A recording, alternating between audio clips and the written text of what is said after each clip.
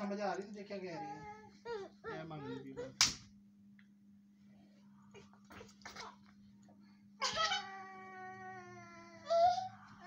ओए, तू उधर ही रह, तू उधर ही रह चिकन खिला दे दिया